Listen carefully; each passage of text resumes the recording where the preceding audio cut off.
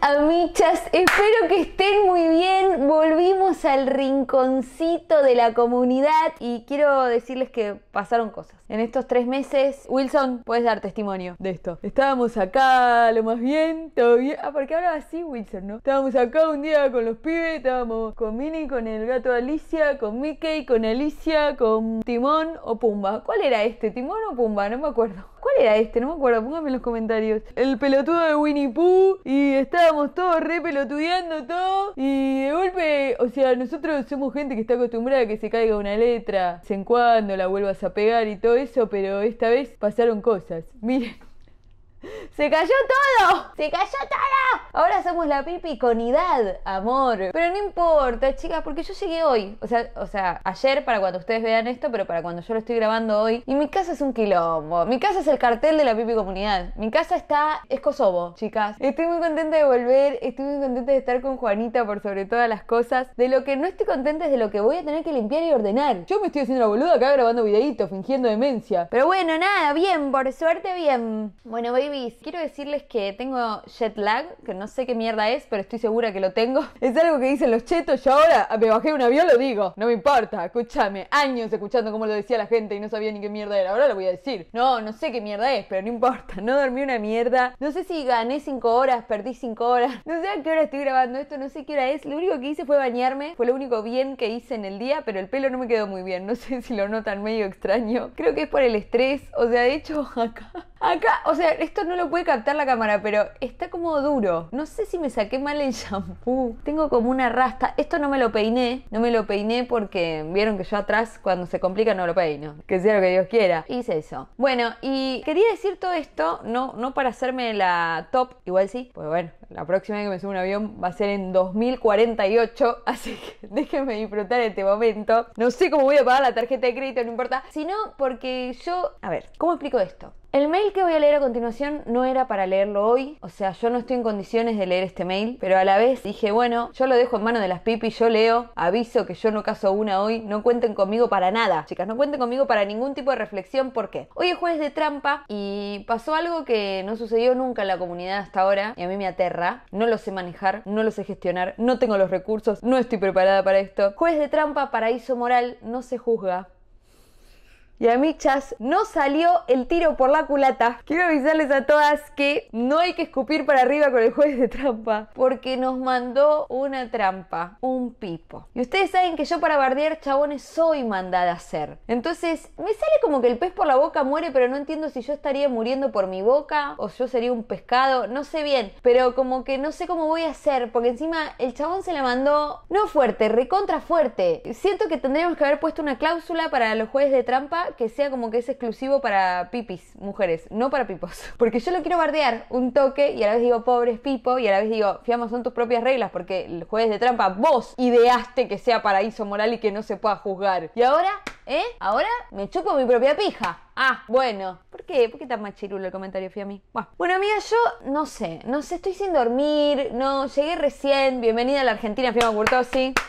Se lo decía a ella porque nadie se lo había dicho, pero a mí me encanta cuando a la gente le dicen bienvenida a la Argentina. Póngame en los comentarios, bienvenida a la Argentina, me siento Susana Jiménez. Bienvenida a la Argentina, amor. Y no cuenten conmigo para ni una neurona. Hoy ni una neurona. Gracias que voy a tratar de leer esto de corrido. Quiero decirlo, yo me trabé antes de arrancar. Bárbaro. Ah, antes de empezar, como siempre ya lo saben, se suscriben, activan la campana. Entonces, a verga, vamos.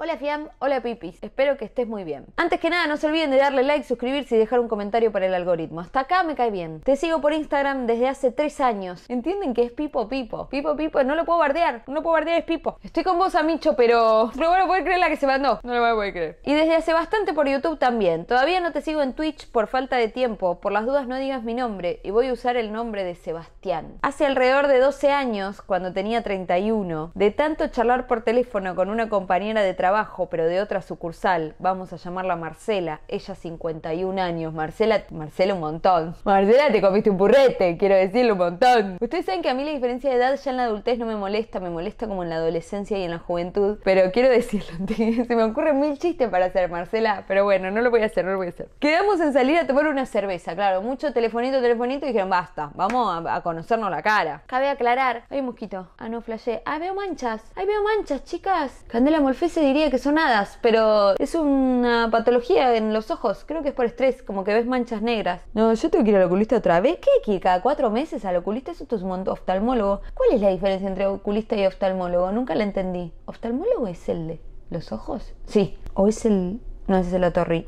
Ay, qué burra soy, Dios. Bueno, perdón, focus. Cabe aclarar que había terminado una relación de 7 años hacía 6 meses y estaba en la fase de salir con todas las chicas que me dijeran que sí o que me invitaran a salir. Me parece muy bien, muy bien, gordo. Calzón rojo, amor. Todo. Revoleo de chota. Qué fina. Nos juntamos un día de semana a la salida del trabajo tipo 19 horas en un bar a tomar unas cervezas y comer algo. Pegamos buena onda en persona, al igual de la que ya teníamos por teléfono. Tomamos bastante, comimos, una cosa llevó a la otra, nos besamos y terminamos en un telo. ¡Vamos, Marcela! ¡Vamos! Y cogió el purrete. Bueno, tuvimos muy buena piel y salimos, no, no puedo hablar en serio, y salimos tres veces más. Siempre a tomar algo, comer y después al telo. Nunca arreglamos para ir al cine ni nada parecido. Hasta que de la nada me invita a cenar a su casa un viernes. Cabe aclarar que ella vivía con su hijo de 19 años y su hija de 22. Me sorprendió la propuesta, por lo que le pregunté si estaba segura de eso, ya que iban a estar sus hijos, y todavía esto no era nada serio. Me dijo que sí, que no me hiciera problema. Me di muchas dudas, ya que mm, no sé qué relación tenía ella con sus hijos como para invitarme así de la nada a cenar. Dice, yo no hubiera ido. Amor, ¿eh? a mí me invitaron a un bautismo y yo no fui. Prohibido olvidar. No. En contra de mi buen juicio que decía que no vaya, hace acepté y fui a cenar a su casa. Porque es Pipo. Siempre Pipo, nunca Pipo, amor. Llevé dos vinos, unas gaseosas, unas cervezas y para hacer una picadita para todos. Ah, padrastro, vos flayaste. Al subir al departamento estaba el hijo con un amigo y la hija con una amiga. O sea, cuatro. Todos jugando a la play. Me presenta a sus hijos y amigos de ellos. Chicas, eh, presten atención a esta parte. Me sorprendió lo bien que me recibieron como si nada. Fui a la cocina con ella y mientras ella cocinaba yo preparaba la picada y servía las bebidas para tomar. Llevamos todo al comedor donde estaban jugando. Todos se sumaron a picar y tomar algo mientras charlábamos, y ahí empezaron las típicas preguntas de los hijos, de dónde se conocieron, hace cuánto, qué edad tenés, etc. Yo dejaba que ella fuera contestando hasta que les dije mi edad y la hija la felicitó. Luego de un rato los chicos volvieron a jugar y me invitaron a jugar con ellos. Entre paréntesis él pone, claramente me quería sumar a jugar a la Play y seguir tomando cerveza, porque hombre e inmaduro siempre hay que reconocer las cosas como son. Me gusta que lo reconozca, me gusta. Pero fui con ella a la cocina para ayudarla a cocinar. Estaba más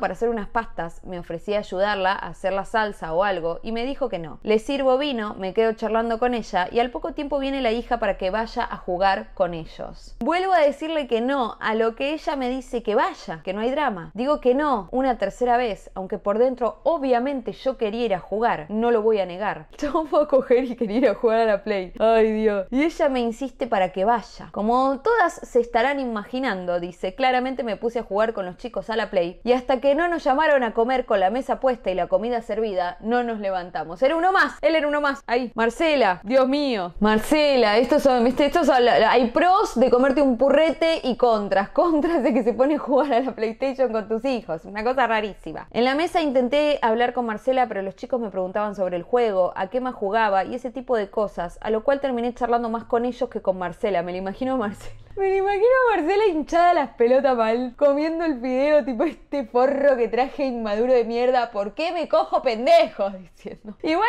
me resulta rarísima la situación, Marce. No lo lleves al chongo a comer con la familia. No lo hagas, Marce, please.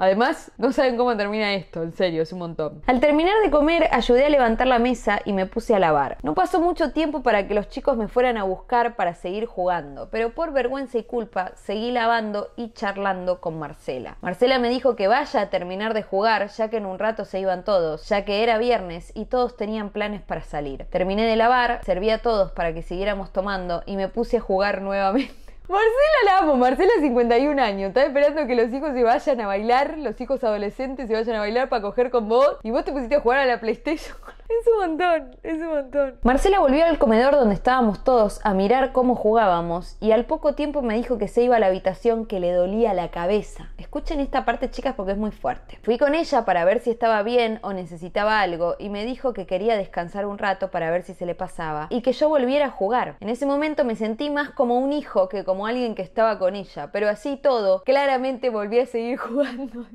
Pasó aproximadamente una hora hasta que terminamos y los chicos, pero no las chicas, se fueron a cambiar para irse a bailar. Ellas me dijeron que juguemos un rato más a otra cosa, pero les dije que iba con Marcela a ver cómo estaba y pasar un rato con ella. Fui a la habitación, le pregunté cómo se sentía y si necesitaba algo y me dijo que solo quería descansar un rato y que no mueva la cama. Uh, eso medio mala onda, no muevas la cama, ¿no? Por lo que me levanté y volví al comedor a jugar un rato más con las chicas. Él es un boludón, él es un boludón. Igual, ahora se me transforma la cara ahora, chicas, van a ver, ¿eh? Jugamos un rato y charlamos. En ese tiempo el hijo y el amigo se fueron a bailar y al rato las chicas se fueron a prepararse para salir. Pasaron unos 10 minutos entre que terminé de acomodar las cosas del comedor y la cocina, pasé por el baño y al salir del baño, acá se pica, acá yo ya me dejo de reír. Me dirigí a la habitación de Marcela, pero para eso había que pasar por las dos habitaciones de los chicos. Al pasar la puerta de las chicas estaba abierta, con ellas charlando en ropa interior. 22 años, amor, menos mal que eran mayores de la concha de tu madre. Mucha ropa arriba de la cama y la amiga de la hija me mira, sale, me agarra de la mano y me pregunta qué ropa pensaba que les iba a quedar mejor.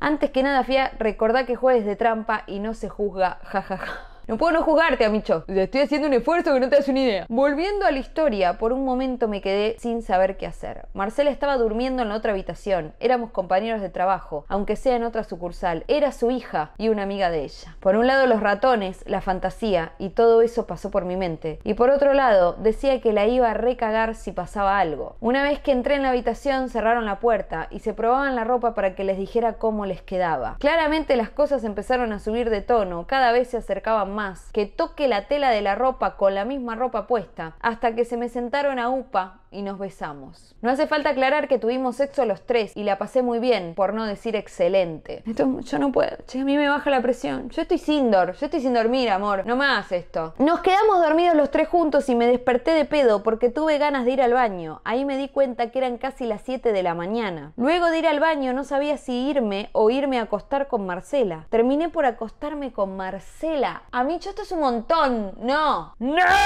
No. No puedo dejar de pensar en Marcela, qué fuerte. Alrededor de las 8 a.m. se despertó. Claramente yo no me pude volver a dormir desde que me acosté en su cama. Le pregunté cómo estaba y si quería desayunar algo. Ah, te acabas de coger a la hija. ¡Ah! Me dijo que estaba mejor, pero que no tenía ganas de desayunar. Ahí aproveché para irme. Seguimos charlando un tiempo más. Me volvió a decir de volver a cenar en su casa y siempre le ponía excusas para no ir. Salimos un par de veces más, pero después de lo que pasó, claramente no fue lo mismo. Y no, si bien nunca fuimos nada serio, no teníamos exclusividad ni nada de eso, no me daba para seguir saliendo. Charlamos cada vez con intervalos más largos hasta que dejamos de hacerlo. Perdón por lo largo de la historia. Espero que no vayan a juzgarme mucho. Vos igual, amigo, te metés solo en la boca del lobo, amor. Te compraste todos los números. Aunque sé que juegues de trampa, también sé que defendés más a las pipis que a los pipos. Obvio. Yo estoy con Marcela. Yo me estoy mordiendo para no bardearte. Quiero que decirte, mandame un mail un viernes, ¿sabes cómo estamos, no? A las trompadas terminamos vos y yo. ¿Cómo perder un seguidor en tres minutos? No, agradezco un montón que me hayas mandado el mail, que abras la historia a la comunidad que te hagas cargo de lo que hiciste. El jueves de trampa son las reglas que yo misma puse, así que las tengo que cumplir aunque me pese. Las tengo que cumplir, no te voy a juzgar, no te voy a bardear. Espero me leas y me avises así las puedo leer por YouTube. Besos. Bueno, chicas, todo suyo. Yo hago así. Yo hasta acá llegué, hoy no cuenten conmigo, hoy estoy de franco, no voy a decir así, así, mutis, mutis por el foro, como se dice en teatro, me voy a abrazar a Juana, a tocarle un poquito los mofletes que les extrañé mucho y lo dejo en sus manos, chicas, comenten, pónganle, las va a estar leyendo Sebastián, las va a leer una por una, Seba. Quiero que los comentarios se arranquen, querido Seba, dos puntos. Igual, posta, hoy es jueves de trampa, es paraíso moral, no se juzga, así que suerte, suerte. Traten de respetar la consigna. Las amo con todo el corazón, no se olviden de poner like, déjenle un comentario a Seba, un besito, un besito Seba, nos vemos la próxima. Chao amigas, las amo, adiosito. ¿Estaré enfocada? Es la pregunta del millón. ¿Cómo, cómo... No estoy enfocada. ¿Por qué no estoy enfocada? Ahí estoy enfocada. Ahí estoy enfocada. Voy a poner la carita bien cerca. Ahora estoy enfocada. No me doy cuenta en la pantalla tan chiquitita. Si estoy enfocada o no. No, no veo. No sé. Bueno. Espero estar enfocada. Ya fue. Ya fue. Espero estar muy enfocada.